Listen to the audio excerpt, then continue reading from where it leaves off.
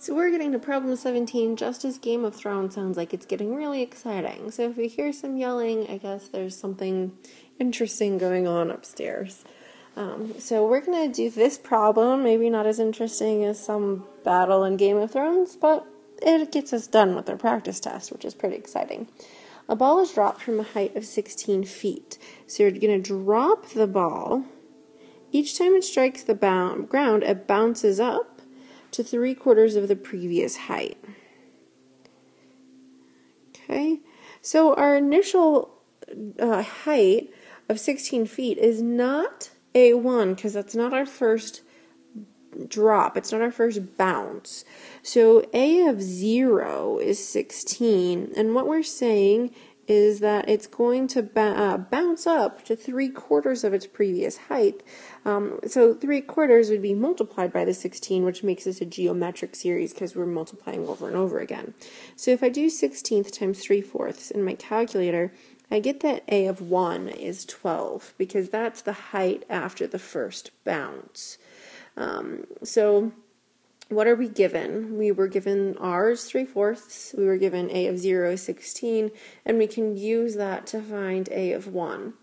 So then the question is, what height will the ball bounce up to after it strikes the ground for the third time? So what we could do is we could just make ourselves a little chart here that A of 0 is 16, A of 1 is 12, A of 2, A of 3, plug this into our calculator repeatedly and get that A of 3 is 6.75. Alternatively, what we could do is use our equation. So A of n equals 12, because we're using A of 1, uh, 3 fourths, which is our n, to the power of 3 minus 1, and plugging that into our calculator, we get that A of 3, uh, the height after the third bounce, is 6.7 feet, 5 feet. Okay, so then the next piece is asking us how many times does the ball need to strike the ground before its bounce is less than 6 inches. So we can say A of n is less than 6. Uh, we saw how that table was helpful in the last part.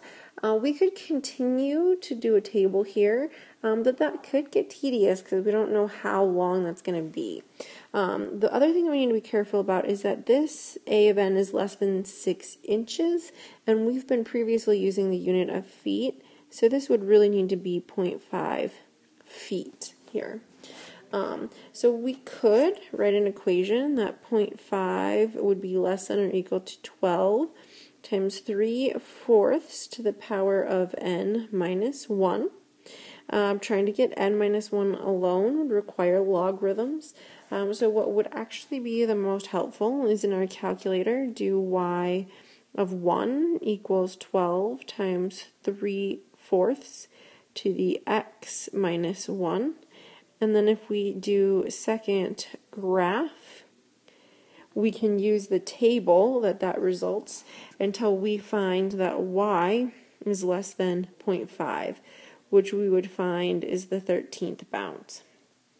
Unfortunately, um, you might not feel comfortable doing that in your calculator using your table. So what you could do is we could do this 0.5 is equal to 12 times 3 to the fourth uh, to the n minus 1.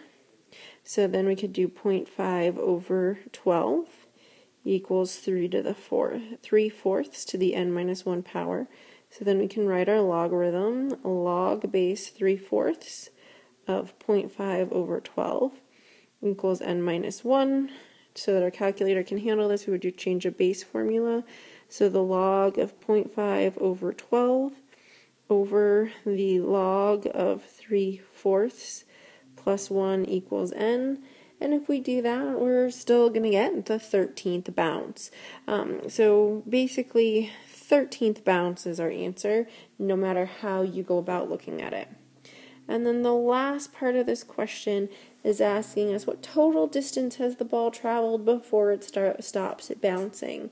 So we want to find the sum of our infinite series here.